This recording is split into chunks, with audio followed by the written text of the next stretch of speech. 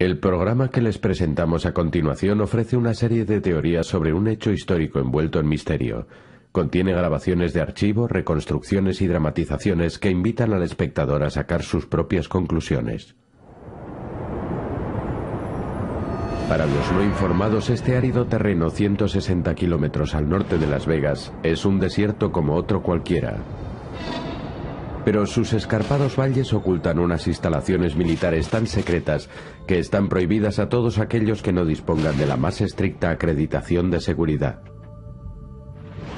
Conocido como Área 51, este es uno de los rincones más misteriosos de la Tierra.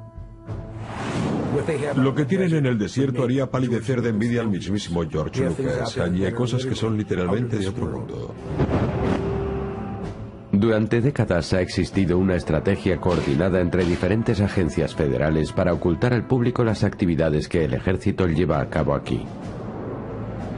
Hasta hace poco el gobierno incluso negaba la existencia de una base en el Área 51. No solo no lo conocía la gente, ni siquiera lo conocían los representantes del pueblo. Esto permite que se cometan muchas irregularidades.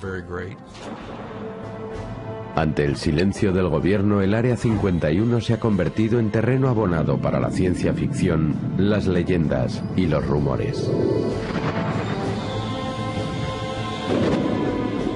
Las improvisadas coartadas, los camiones ocultos, los vuelos secretos de aviones de mercancías, es exactamente el procedimiento a seguir en el caso de que se hubiese estrellado un ovni y se quisiera mantener en secreto.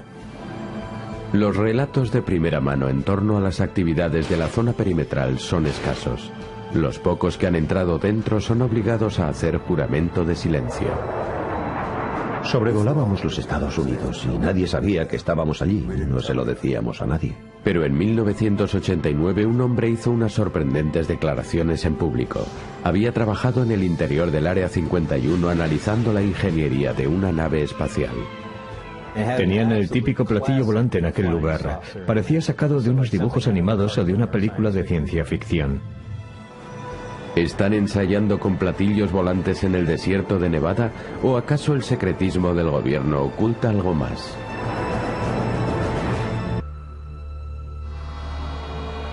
Estoy convencido de que era una nave extraterrestre. Yo comprobé cómo funcionaba el equipo en su interior y se trataba de tecnología que ni siquiera existe hoy en día. En el sur de Nevada hay una extensión de unos mil kilómetros cuadrados de espacio aéreo restringido, celosamente custodiado, que los pilotos llaman Dreamland, el país de los sueños. Pero la mayoría de la gente lo llama el Área 51, tal y como fue denominado por la Comisión de Energía Atómica en 1958. Jer Harnu, un hombre de origen alemán de 42 años, mantiene un sitio web dedicado a explorar esta misteriosa región y organiza regularmente excursiones de reconocimiento a su vigilado perímetro. Este es el famoso límite del Área 51, justo aquí.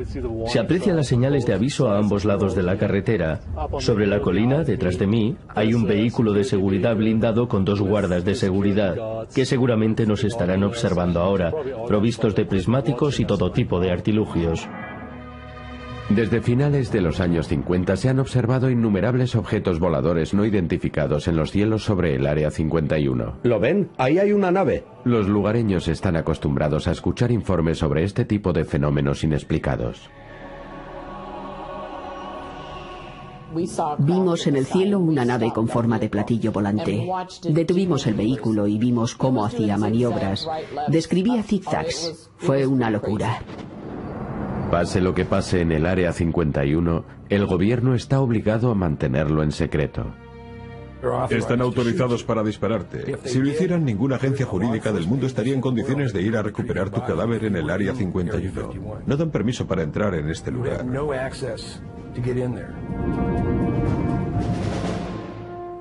Pero en 1989, un habitante de Las Vegas de 30 años llamado Bob Lazar aseguró haber roto el velo de secretismo que rodea estos vuelos.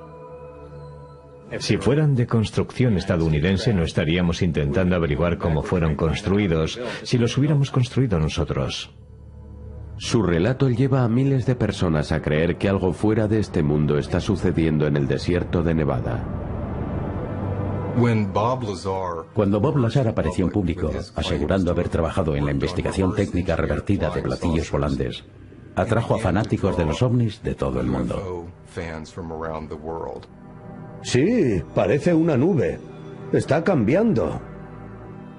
Y su leyenda fue decisiva para todo el incipiente folclore sobre el Área 51.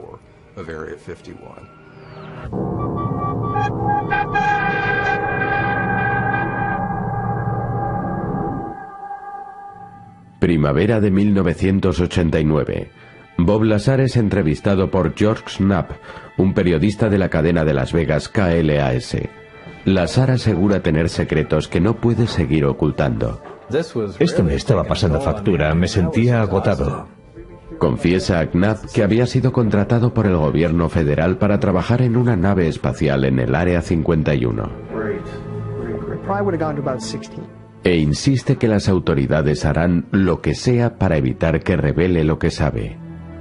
En el coche había un tipo con un arma, me disparó y salió corriendo.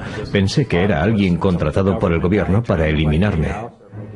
Lazar cuenta al periodista que si habla en público de su asombrosa historia es para protegerse de las represalias. Sin embargo, aparece a contraluz para ocultar su identidad. La primera entrevista fue para declarar lo que había sucedido, lo que pasaba, y en caso de que yo desapareciera, al menos que quedara constancia de que lo que yo decía era cierto.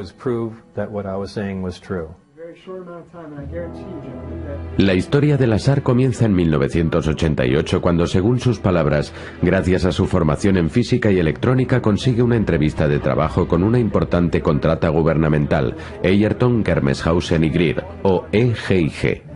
Me dijeron que había muchas posibilidades en un nuevo campo de los sistemas de propulsión, que trabajaría en una zona alejada. Todo aquello me sonó estupendo. Era exactamente lo que yo buscaba. En diciembre de 1988 es contratado. En su primer día de trabajo, Lazar asegura haber conocido a un hombre llamado Denis Mariani en la oficina de proyectos especiales de EGIG en el Aeropuerto Internacional McCarran de Las Vegas. Denis Mariani es un tipo con apariencia de militar. Siempre te mira a los ojos muy severo. No creo que este tipo haya sonreído nunca en su vida. Mariani acompaña a Lazar a bordo de un avión privado que los traslada 160 kilómetros al norte hasta una base militar aislada en el desierto de Nevada, el Área 51. Inmediatamente después de aterrizar, Mariani somete a Lazar a un riguroso cuestionario de seguridad y le hace firmar un compromiso de silencio. Básicamente lo que firmas es una renuncia a muchos de tus derechos. Creo que se llamaba el acuerdo 10-10. Si divulgabas información obtenida te condenaban a 10 años de cárcel y una multa de 10.000 euros.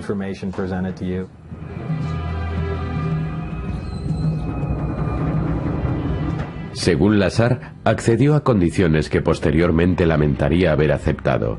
Incluso renuncia a su derecho a un juicio si revela cualquier detalle de su trabajo en el Área 51.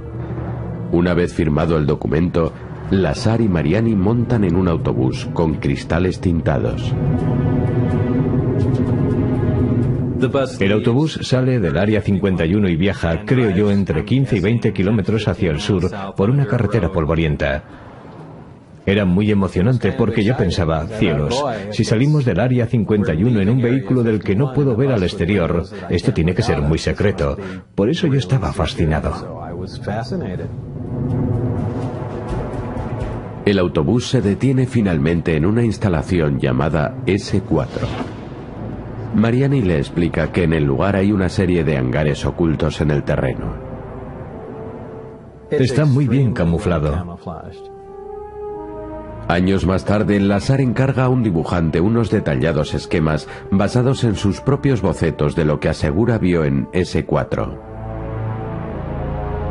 Los hangares están dotados de puertas con textura de arena y a una distancia de unos 100 o 130 metros no se distinguen. Parecen una prolongación de la montaña. Mariani conduce a Lazar hasta el interior de las vigiladas instalaciones. Había un ambiente militar muy opresivo. Siempre tenías a alguien encima que te observaba atentamente. Eran como robots. No mostraban emociones. No es que fueran robots, pero actuaban como autómatas. Lazar asegura que le entregan un distintivo de seguridad que le permite el acceso a través de, textualmente, el Departamento Estadounidense de Inteligencia de la Marina. Mariani le lleva a una sala de instrucciones segura. Sobre la mesa hay un montón de carpetas azules. Lazar tiene permiso para revisar estos archivos a solas. Ojeando parte de la información, hacía referencias directas a un platillo volante, a un vehículo extraterrestre. Yo lo descarté y seguí a lo mío. Y pensé, vaya, esto tiene que formar parte de las medidas de seguridad. Podía ser algún tipo de análisis psicológico. De modo que me lo leí todo y asimilé lo que pude. Cuando Mariani lo lleva de regreso al hangar, Lazar asegura que se enfrenta a una visión increíble. Entramos al hangar, que era bastante largo, y allí dentro tenían un platillo volante absolutamente clásico, como salido de unos dibujos animados o una película de ciencia ficción. Estaba posado sobre el vientre en el suelo. Yo fui, levanté la mano para tocar el metal de la nave y de inmediato me expedientaron por ello. Lazar cree que el vehículo es una nave experimental diseñada para simular algo del espacio exterior. Tenía la forma de un platillo volante. Esto explicaría por qué hay tanta gente que ve ovnis, porque estaban intentando fabricar un aeroplano similar. Ni se me pasó por la cabeza que fuera de origen alienígena o algo por el estilo. Pero Lazar declara que cambia de idea cuando le explican sus tareas profesionales. El objetivo fundamental de nuestra labor consiste en intentar copiar parte de ese material con sustancias que se encuentran en la Tierra. Bueno, ¿qué quieren decir con sustancias que se encuentran en la Tierra? Esto confirmaba parte de lo que había leído, que aquel objeto era de hecho una nave alienígena. A medida que examina el platillo, Lazar se convence de que realmente es de origen extraterrestre. Evidentemente estaba construido para alguien más pequeño. Alguien con la mitad de altura de un ser humano podía entrar allí dentro sin el menor problema. Todo tiene un radio curvo y redondeado. Parece como si el objeto fuese un molde de inyección, como si estuviera hecho de plástico o de cera. A continuación le informan de que el sistema de propulsión del vehículo permite al piloto cubrir grandes distancias de forma instantánea, manipulando el tiempo y el espacio. Si tienes una máquina capaz de generar gravedad, eso permite generar campos de fuerza. Con eso es posible viajar en el tiempo. Si puedes manipular la gravedad, te pueden conseguir todas esas cosas que se leen en las revistas de ciencia ficción. Lazar se siente abrumado por las posibilidades. Hasta ahora había creído que la idea de los platillos volantes era pura fantasía. Me dejó bastante confuso y durante un largo tiempo pasé muchas noches en blanco. Todo lo que habías creído ficción era realidad.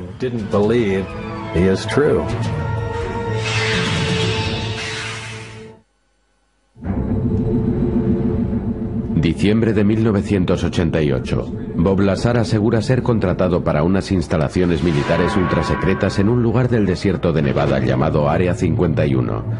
Este residente de Las Vegas afirma estar aquí para estudiar una nave alienígena.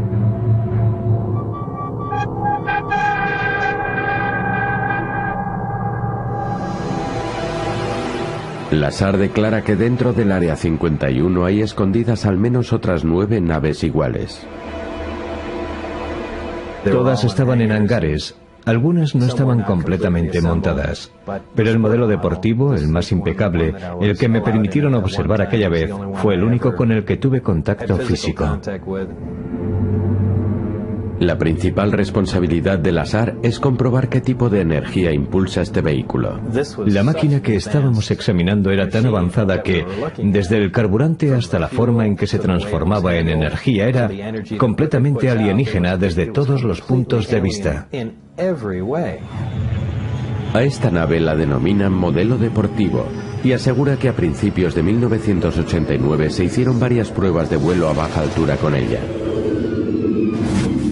Lazar dice que su supervisor, Denis Mariani, le invita a observar una de ellas.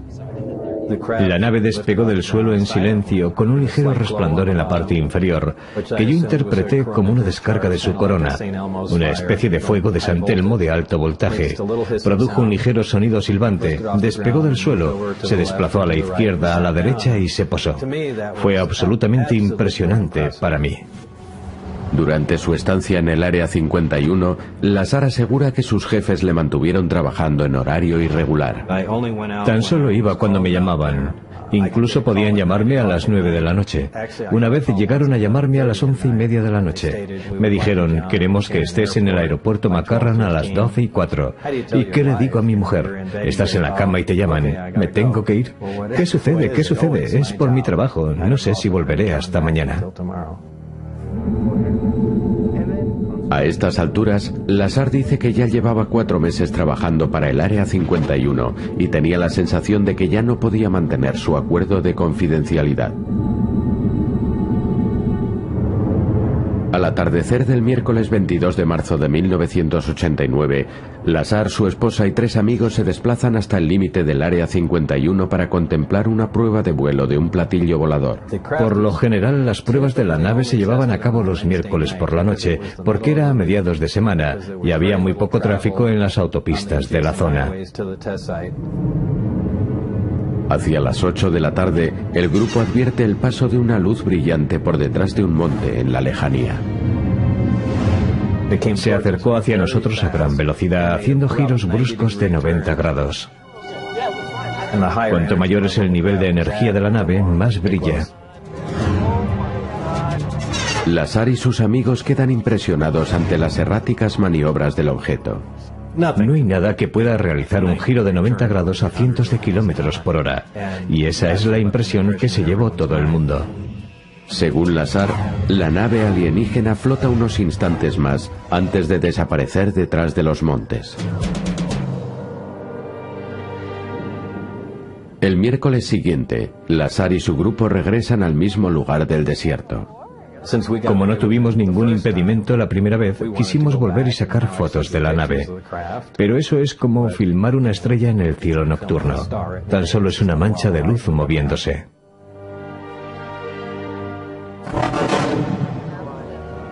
Una semana después, hicieron una tercera incursión al Área 51. Pero esta vez, se arriesgaron demasiado. Los de seguridad nos descubrieron en medio de la más absoluta oscuridad. Encendieron sus linternas y había un ejército de gente alrededor. Fue increíble. Los guardas armados comprueban sus identidades y anotan sus nombres antes de dejarlos marchar. Mientras se van, Lazar y sus amigos son interceptados por un sheriff adjunto del condado de Lincoln que los retiene para interrogarlos. Al día siguiente, siempre según las palabras de Lazar, Denis Mariani y los agentes de seguridad del Área 51 le amenazan. Una de las cosas que me dijeron fue, cuando te confiamos esta información, no dijimos que pudieras contársela a todo el mundo. El guarda me apuntó directamente a la cara con una M16. Querían que supiera que iban en serio. Según Lazar, lo dejan marchar y lo despiden de su puesto en el Área 51. A partir de entonces se convierte en víctima de una incesante campaña de intimidación. Estaba conduciendo por Charleston Boulevard en Las Vegas y al llegar al carril de acceso a la autopista un coche intentó mantenerse a mi altura. Escuché un disparo de arma y me llamó la atención. En el vehículo había un tipo con un arma. Yo salí del carril, paré en el arcén y me quedé paralizado dentro de mi coche. Pensé que vendría hacia mí y yo no podría evitarlo. En ese instante, Lazar decide hacer pública su historia en una entrevista con el reportero de la cadena KLAS, George Knapp. En mayo de 1989 aparece a contraluz en el telediario local de las 5. Salí en la tele y conté algunas de las cosas que había visto. Inmediatamente después de la entrevista, Denis Mariani me llamó a casa y me dijo, ¿acaso te imaginas lo que vamos a hacerte ahora? Y yo dije, no, ¿qué? Y él colgó el teléfono. Seis meses más tarde, Lazar concede otra entrevista a la cadena KLAS. Esta vez revela su identidad en directo. Posteriormente sale en otros muchos programas de radio y televisión, llegando incluso a rodar un vídeo sobre su experiencia.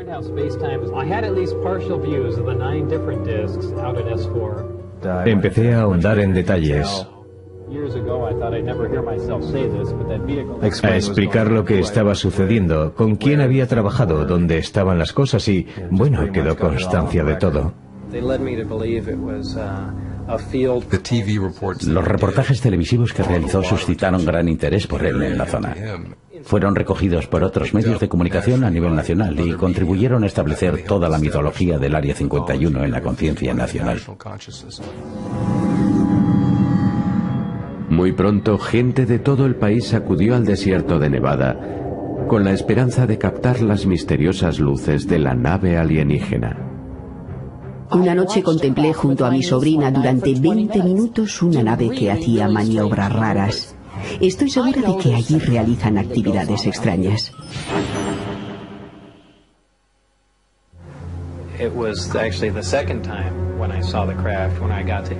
En noviembre de 1989, Bob Lazar hace unas sorprendentes declaraciones a un noticiario televisivo de Las Vegas. Asegura haber trabajado en una nave espacial alienígena en una base militar ultrasecreta llamada Área 51.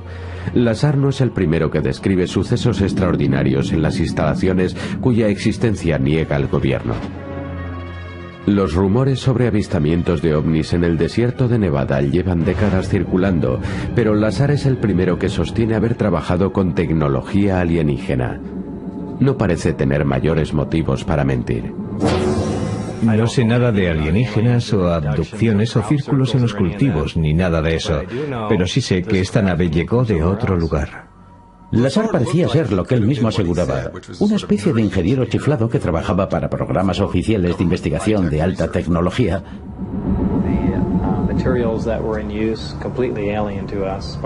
y parecía transmitir convicción absoluta. En casi todas las historias de ovnis se ve a la legua si la persona está trastornada. Lo interesante de Lazar es que contaba un relato muy sólido y convincente. En el mundillo de los aficionados a los ovnis, Lazar se convierte en una sensación. La aparición de Bob encendió la mecha de todos los aficionados locos por los ovnis del mundo, por así decirlo. Empezaron a venir autobuses llenos de gente. Al borde del Área 51, la ciudad de Rachel, Nevada, se convierte en el trampolín de los curiosos. Rachel es un pueblecito ignoto en medio de la nada absoluta. Pero pasó a ser el centro del universo para los interesados en los ovnis y en el Área 51. Todo el país y todo el mundo saben en estos momentos lo que está pasando aquí. Los fanáticos de los ovnis no son los únicos en peregrinar para contemplar los cielos del desierto. Los aficionados a la aviación, como este grupo de observadores de aeroplanos llamados los interceptores, también están intrigados por la historia del azar. Jim Goodall es miembro veterano de los interceptores y desde 1987 vigila regularmente los cielos sobre el Área 51. Mi obsesión eran los programas confidenciales de aviones. La primera visión de algo que nunca habías visto o el público no conocía. Eso es lo más emocionante de salir al desierto. Y siempre quieres ser el primero en obtener una foto de gran calidad. Mientras que algunos atribuyen las misteriosas luces en el cielo a visitantes extraterrestres,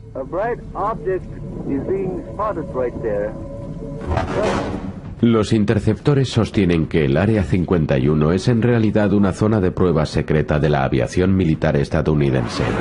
Se basan en hechos comprobables y pruebas fotográficas.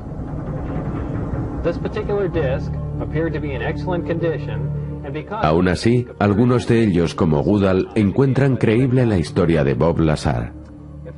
Soy persona de tecnología, de hechos concretos, no soy un loco de los ovnis.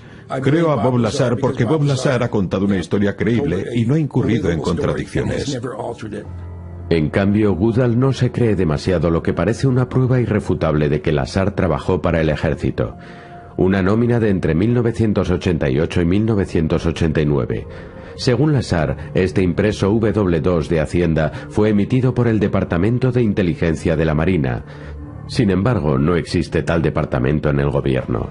En 1990, durante la Operación Escudo del Desierto, Goodall se encuentra de servicio activo en la Guardia Nacional, área de Minnesota, en Washington, D.C.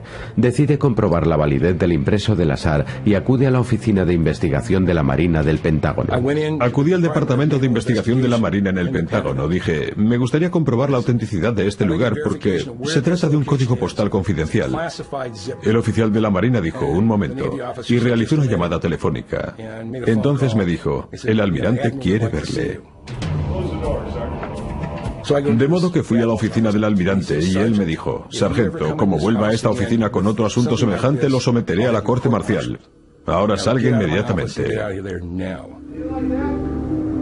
Bueno, si este impreso era falso, ¿por qué se alteró el almirante de esta manera? Los partidarios de la SAR aseguran que el llamado Departamento de Inteligencia de la Marina es una organización encubierta destinada a mantener en secreto el Área 51, y como tal su existencia ha sido mantenida al margen del público e incluso del Congreso de los Estados Unidos. Pero a pesar del apoyo de gente como Jim Goodall, los detractores opinan que Bob Lazar está cometiendo un engaño. Se basan en la ausencia de pruebas que corroboren esta historia. Habla del tipo de ovnis que vio en el interior y cosas así. ¿Cómo reaccionar ante eso? Tan solo intento poder verificar a partir de lo que cuenta. Y sencillamente no he descubierto nada. Los escépticos analizan otras declaraciones realizadas por Lazar. Trabajó allí menos de 40 horas, y esto según sus propias palabras. Esa semana de trabajo averiguó el carburante que impulsa estos platillos. Es increíble hacer un descubrimiento así en tu primera semana de trabajo. Stanton Friedman, un físico formado en la Universidad de Chicago, comprueba el currículo educativo de Lazar. Supuestamente tenía un máster en física por el MIT, otro en electrónica de Caltech. Bueno, pregunté en el MIT y jamás habían oído hablar de él. Miré en Caltech y no sabían nada de él. Lo comprobé en su escuela de bachillerato y resulta que estuvo entre los peores de su graduación.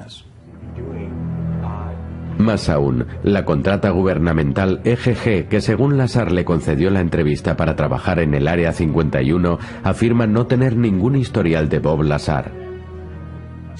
Tenemos un problema con el tipo que tiene un currículo que no se corresponde con lo que afirma y ni siquiera puede demostrar que ha trabajado donde dice que ha trabajado. O sea, no se pueden descartar directamente sus declaraciones, pero hay que tomarlas con mucha cautela.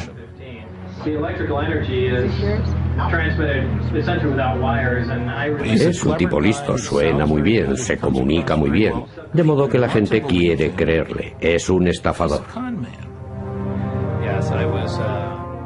Mientras algunos opinan que Bob Lazar es un fraude, otros creen que su comportamiento tiene una razón más siniestra. Es un agente del gobierno encargado de mantener la desinformación acerca del Área 51. Hay que plantearse si Lazar estaba seguro de lo que era. Tal vez fuese un agente involuntario destinado a desinformar. Hay quien cree que le lavaron el cerebro o incluso que lo drogaron. Pero para los partidarios del azar, el silencio del gobierno estadounidense lo dice todo. Si no hubiera tenido nada que ver con esta gente, podían haber dicho que era un engaño. Habría sido muy sencillo y con ello habrían puesto fin a su carrera como portavoz de ovnis, como ingeniero de sistemas de propulsión. Pero nadie lo ha hecho. Algunos conspiranoicos creen que el gobierno de los Estados Unidos fomentó la historia del azar y el mito de los avistamientos de ovnis. Aseguran que es un intento de distraer al público de lo que verdaderamente está pasando en el Área 51. Parecía cobrar fuerza la teoría de que estaban generando mucho ruido para disfrazar la verdadera actividad, que consistía en experimentos con aeronaves avanzadas, y la SAR era la pieza clave para esta maniobra de distracción.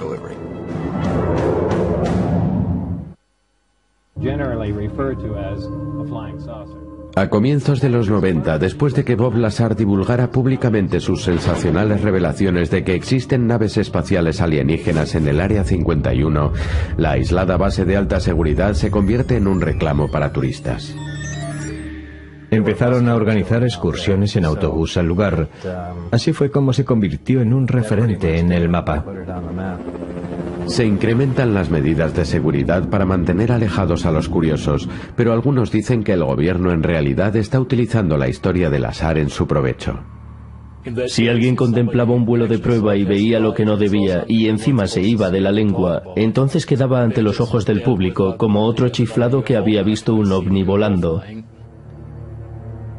A pesar de que por Internet circulan gran cantidad de informes de testigos oculares y fotografías, el gobierno insiste en negar incluso la existencia de la base.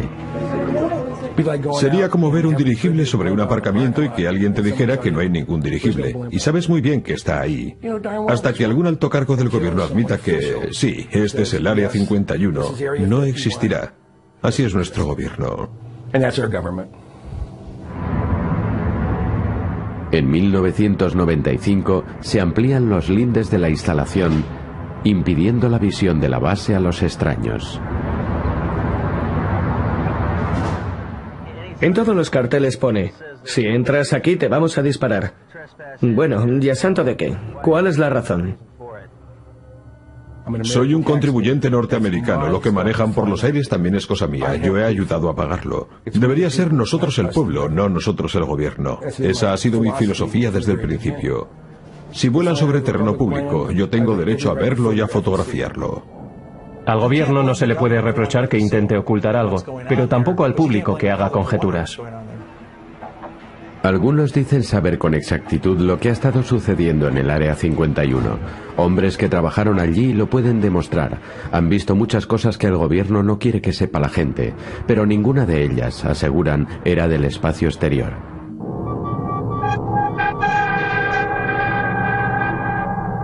Se cuenta que realizaron prácticas con material extraterrestre. Yo no sé nada de eso, tan solo lo que he leído en la prensa. Desde luego, cuando yo estuve allí no había nada de eso en la base y yo me moví por toda la base. Frank Murray pilotó el avión espía ultrasecreto A-12 en el Área 51. Según sus palabras, la base tuvo un papel muy importante en investigación y desarrollo militar estadounidense durante la Guerra Fría. La base arrancó propiamente dicho en el año 54, cuando la Lockheed necesitaba un lugar para probar y desarrollar el U-2, el primer avión espía. A comienzos de los años 60 se empezaron a desarrollar los A-12 en sustitución de los U-2. La CIA encargó este jet de reconocimiento supersónico capaz de alcanzar velocidades superiores a Mach 3 y altitudes superiores a 30.000 metros. Frank Murray, entre otros, hizo pruebas con el A-12 en el Área 51. Sobrevolábamos los Estados Unidos y nadie sabía que estábamos allí. No se lo dijimos a nadie, ni falta que hacía. Murray y el exoperador de radar Ted Barnes puede ahora hablar de sus experiencias porque los proyectos ultrasecretos fueron desclasificados en los 90. Barnes sí reconoce que tenía acceso restringido a la base. Si se llevaba a cabo algo que nosotros no teníamos por qué saber, llevaban a todos los que estábamos en la base al comedor, desplegaban las cortinas oscuras, las hacían vigilar por guardas armados y nos tenían allí durante dos o tres horas, o el tiempo que hiciera falta hasta que terminaran de realizar sus actividades en el exterior. Para los hombres asignados al Área 51, el intenso secretismo condicionaba cada aspecto de sus vidas profesionales e incluso se hacía extensible a sus propias familias. No se les podía preguntar nada. Si se mencionaba un proyecto reservado, no podían hablar de ello y nunca sabían nada hasta que todo hubiese pasado. Tanto Murray como Barnes aseguran que durante su época en el Área 51 no vieron ninguna nave alienígena pero sí se dieron cuenta de que algunos colegas suyos trabajaban en un proyecto tan secreto que la mayoría de los norteamericanos jamás se enteraron de su heroísmo. Perdimos un montón de pilotos y no recuerdo que hubiera pánico entre los pilotos de pruebas. Al estrellarse contra el suelo seguían proporcionando datos científicos, así que estaban bien entrenados. Tras la salida de Murray y Barnes, otros oficiales probaron tecnología más moderna, como el F-117 Stealth Bomber, bombardero furtivo, a finales de los 70. Algunos creen que este avión pudo ser el verdadero origen de muchos avistamientos ovni en el Área 51. La primera vez que ves un F-117 de frente parece un platillo volante. A las autoridades militares no les importaba que los vuelos de prueba del F-117 dispararan los rumores sobre naves extraterrestres en el desierto de Nevada. ¿Por qué dar pistas diciendo, hay otro ensayo militar con un avión de gran altitud? Era mucho mejor dejarlo todo en divagaciones sobre ovnis. Lo que los científicos militares hayan estado desarrollando en el Área 51 desde la aparición de los F-117 es una incógnita. En la tensa época posterior al 11 de septiembre, el Área 51 ha seguido siendo tan impenetrable como siempre. Pero es evidente que sigue muy activo. Necesariamente sí. La pista tiene ahora una longitud de 7 kilómetros y medio, dos o tres veces más larga que cuando yo estuve allí. Que yo sepa, están construyendo sistemas para evitar una invasión alienígena. No lo sé. Esta tecnología aún no existe. ¿Qué se traerán entre manos? Jim Goodall comenta que en cierta ocasión le hizo esta pregunta al mismísimo Ben Rich, un antiguo vicepresidente de la Lockheed Corporation ya fallecido. Y me dijo, Jim, en el desierto tenemos cosas que están 50 años por delante de lo que usted pueda comprender. Lo que haya visto en Star Trek, o en la Guerra de las Galaxias, o en cualquier película de ciencia ficción. Nosotros ya lo tenemos y con creces. Le pregunté, ¿me puede dar más detalles? Y él contestó, no. Pese a los esfuerzos por mantener un tupido velo sobre las actividades en el Área 51, los altos cargos se ven obligados a admitir públicamente la existencia de la base por primera vez en 1994, cuando se interpone una querella contra el gobierno. La acusación es la quema imprudente en la zona de sustancias químicas tóxicas. Los críticos denuncian que el velo de secretismo está poniendo en peligro la seguridad pública. La existencia de un vertedero tóxico en el Área 51 es la perfecta metáfora para describir el exceso de secretismo y los peligros del secretismo. El secretismo, como cualquier producto químico fuerte, es muy útil, pero también es muy peligroso.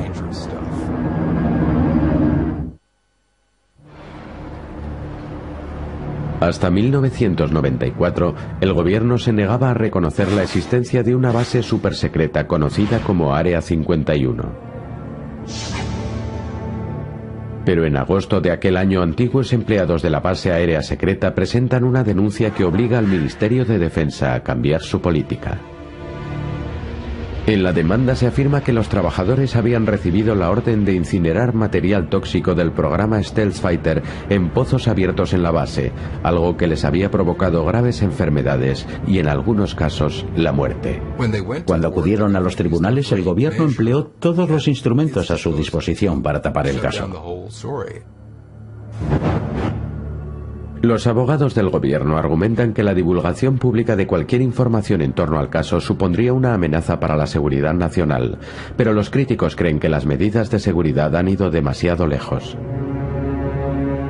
Se produce una situación que no tiene nada que ver con lo que podría ser el silencio en torno a un proyecto de nave espacial secreto. El gobierno no solo se niega a asumir su responsabilidad, sino que pretende anular todo el caso y no da ninguna información sobre lo que está sucediendo allí.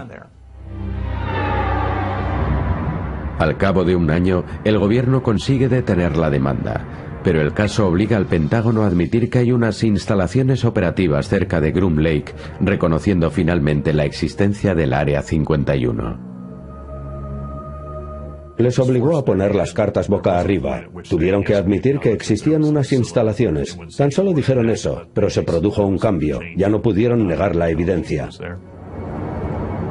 Los que presionaban para averiguar la verdad en torno al Área 51 empezaron a hacer más preguntas, entre ellas cómo había logrado el gobierno financiar una base inexistente durante casi cuatro décadas.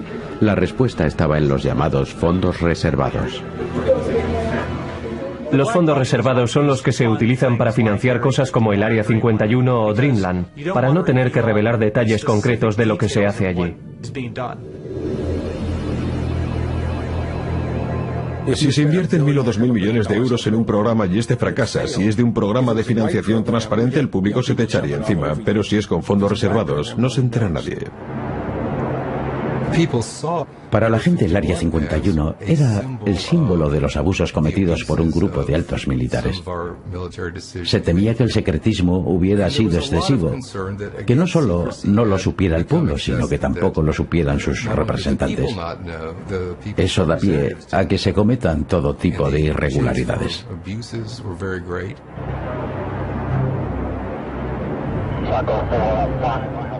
Activistas como Ye Harnu se consideran a sí mismos guardianes, decididos a limitar el poder de semejantes irregularidades. Lo que intentamos conseguir es que los poderes sean honestos, evitar que abusen de su secretismo. Arnu asegura que sus intentos de que el gobierno sea honesto le han valido unos cuantos enfrentamientos.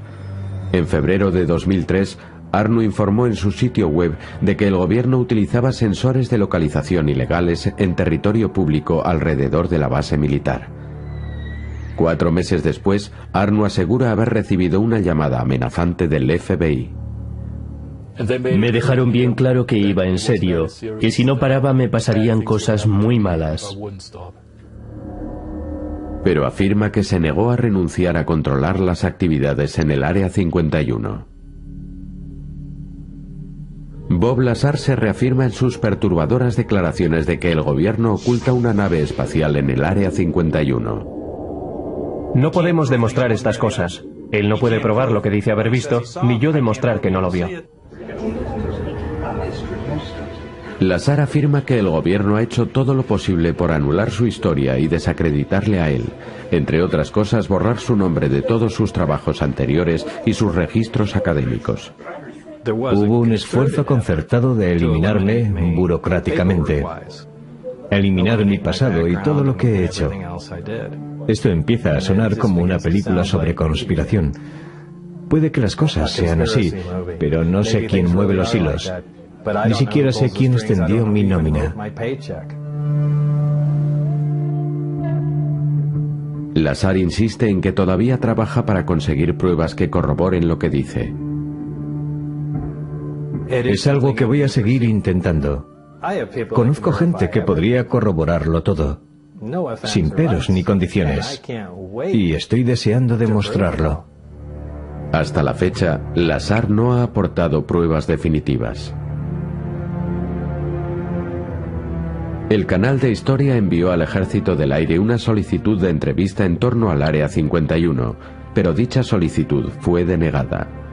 El Ejército del Aire sostiene que todas las operaciones allí son clasificadas.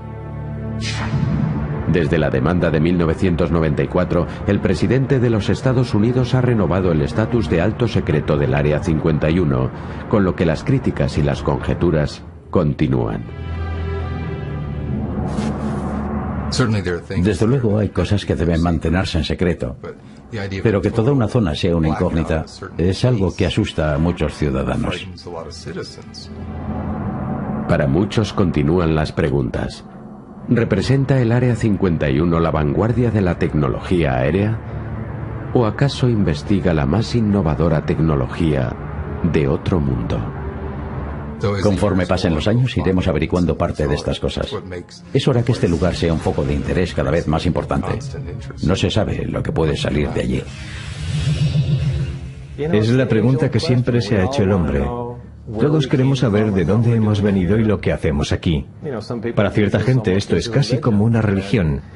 Y si hay otra forma de vida en el exterior, seguramente habrá estado allí mucho antes que nosotros.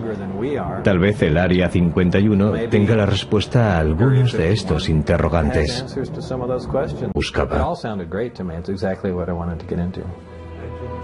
En diciembre de 1988 es contratado. En su primer día de trabajo, Lazar asegura haber conocido a un hombre llamado Denis Mariani en la oficina de proyectos especiales de EGIG en el Aeropuerto Internacional McCarran de Las Vegas. Denis Mariani es un tipo con apariencia de militar, siempre te mira a los ojos muy severo. No creo que este tipo haya sonreído nunca en su vida. Mariani acompaña a Lazar a bordo de un avión privado que los traslada 160 kilómetros al norte hasta una base militar aislada en el desierto de Nevada, el Área 51. Inmediatamente después de aterrizar, Mariani somete a Lazar a un riguroso cuestionario de seguridad y le hace firmar un compromiso de silencio. Básicamente lo que firmas es una renuncia a muchos de tus derechos. Creo que se llamaba el acuerdo 10-10. Si divulgabas información obtenida te condenaban a 10 años de cárcel y una multa de 10.000 euros.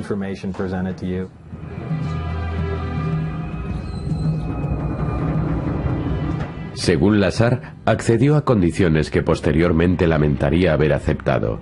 Incluso renuncia a su derecho a un juicio si revela cualquier detalle de su trabajo en el Área 51. Una vez firmado el documento, Lazar y Mariani montan en un autobús con cristales tintados. El autobús sale del área 51 y viaja, creo yo, entre 15 y 20 kilómetros hacia el sur por una carretera polvorienta. Era muy emocionante porque yo pensaba, cielos, si salimos del área 51 en un vehículo del que no puedo ver al exterior, esto tiene que ser muy secreto. Por eso yo estaba fascinado. Te nos estarán observando ahora, provistos de prismáticos y todo tipo de artilugios. Desde finales de los años 50 se han observado innumerables objetos voladores no identificados en los cielos sobre el Área 51. ¿Lo ven? Ahí hay una nave. Los lugareños están acostumbrados a escuchar informes sobre este tipo de fenómenos inexplicados. Vimos en el cielo una nave con forma de platillo volante. Detuvimos el vehículo y vimos cómo hacía maniobras. Describía zigzags. Fue una locura. Pase lo que pase en el Área 51, el gobierno está obligado a mantenerlo en secreto. Están autorizados para dispararte. Si lo hicieran, ninguna agencia jurídica del mundo estaría en condiciones de ir a recuperar tu cadáver en el Área 51. No dan permiso para entrar en este lugar.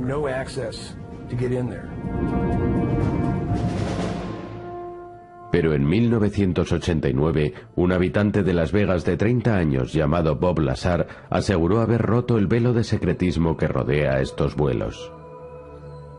Si fueran de construcción estadounidense no estaríamos intentando averiguar cómo fueron construidos si los hubiéramos construido nosotros.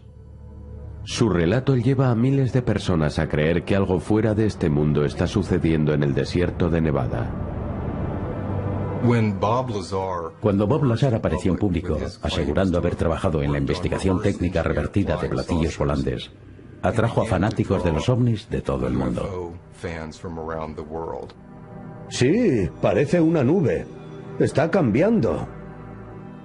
Y su leyenda fue decisiva para todo el incipiente folclore sobre el Área 51.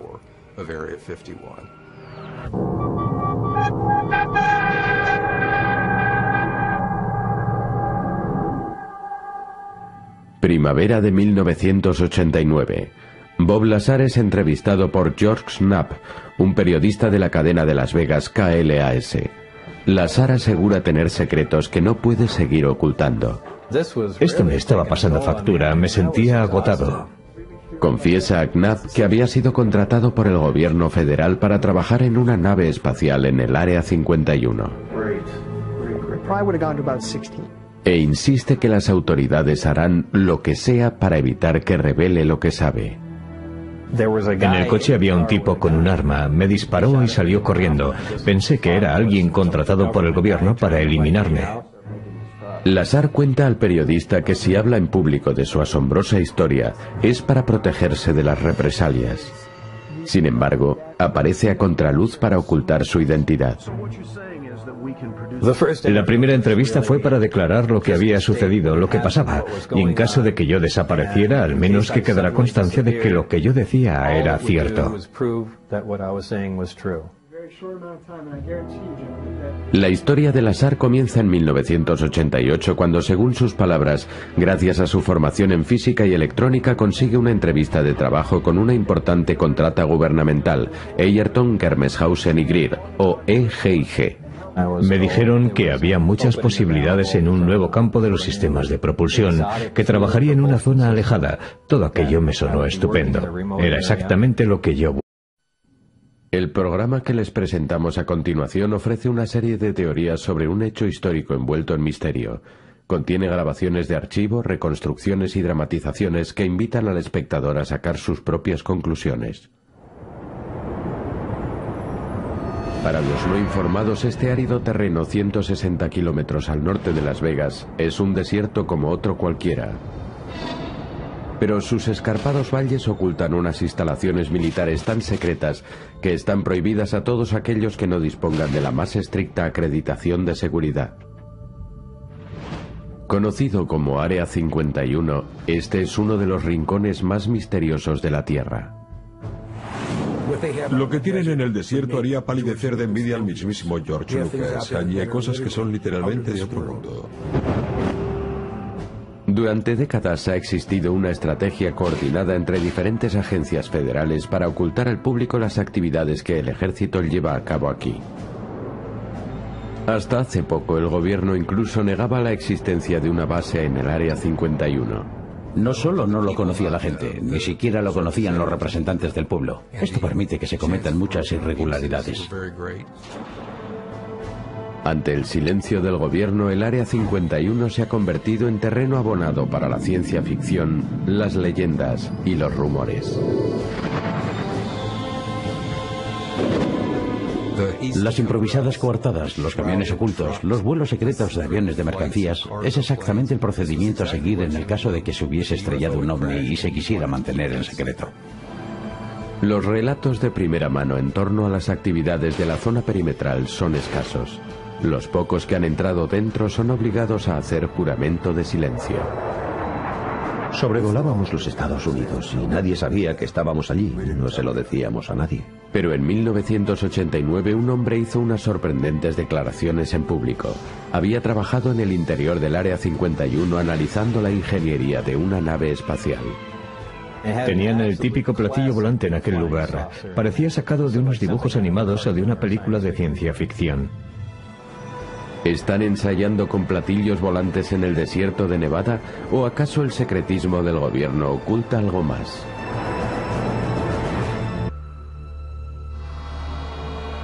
Estoy convencido de que era una nave extraterrestre. Yo comprobé cómo funcionaba el equipo en su interior y se trataba de tecnología que ni siquiera existe hoy en día. En el sur de Nevada hay una extensión de unos mil kilómetros cuadrados de espacio aéreo restringido, celosamente custodiado, que los pilotos llaman Dreamland, el país de los sueños. Pero la mayoría de la gente lo llama el Área 51, tal y como fue denominado por la Comisión de Energía Atómica en 1958. Jer Harnu, un hombre de origen alemán de 42 años, mantiene un sitio web dedicado a explorar esta misteriosa región y organiza regularmente excursiones de reconocimiento a su vigilado perímetro. Este es el famoso límite del Área 51, justo aquí. Se aprecian las señales de aviso a ambos lados de la carretera. Sobre la colina, detrás de mí, hay un vehículo de seguridad blindado con dos guardas de seguridad, que seguramente